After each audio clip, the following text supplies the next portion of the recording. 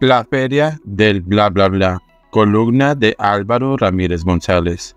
25 días faltan para que los colombianos acudamos a las urnas a escoger a nuestros próximos gobernantes regionales.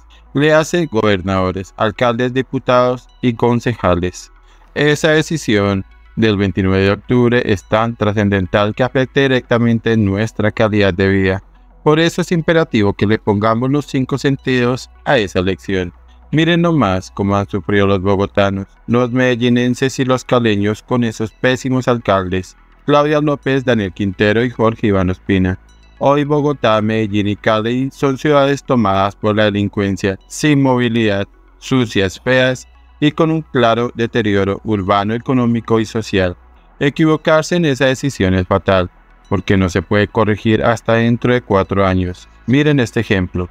Recién veía yo un video de los candidatos a la alcaldía de Santa Marta haciendo sus propuestas, sobre todo acerca del principal problema de esa ciudad y es la profunda escasez de agua. Saben ustedes que Santa Marta, como muy pocas ciudades del mundo, tiene a su lado la fábrica de agua más grande de Colombia. ¿Saben que esa fábrica en la Sierra Nevada de Santa Marta?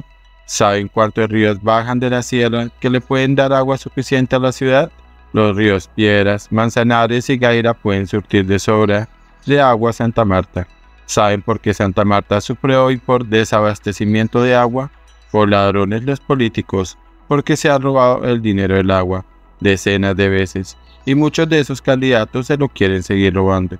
Todas las fórmulas que plantean los candidatos sobre el agua Santa Marta son las adecuadas. Embalses, conducciones, tanques, cambios de tuberías obsoletas, eliminación de pérdidas. ¿Por qué no lo han hecho entonces? Como tiene que ser.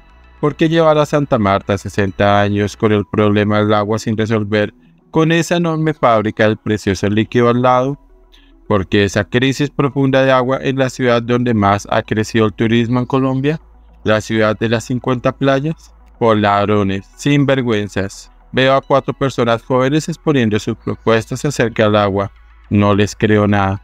Dios me perdone. Pobre Santa Marta puro bla bla bla, y pensar que así está todo el país, lleno de culebreros de bla bla bla.